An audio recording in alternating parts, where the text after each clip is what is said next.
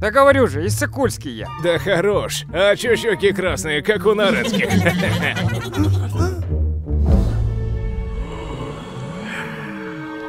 А что там написано?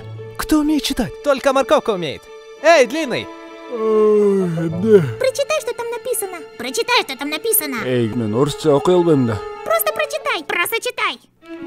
азыр соқ прямого отжима дейді Сок прямого отжима? В каком смысле? В прямом смысле. Это когда берут нас и выжимают все соки. А зачем?